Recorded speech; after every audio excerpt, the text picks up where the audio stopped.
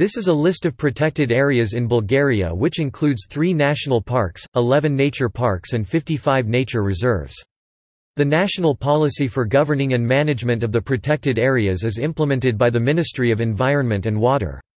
The first nature park in Bulgaria and the Balkan Peninsula is Vitosha Nature Park, established in 1934.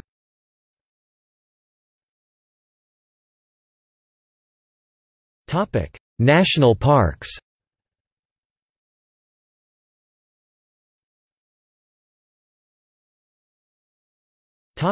Nature parks.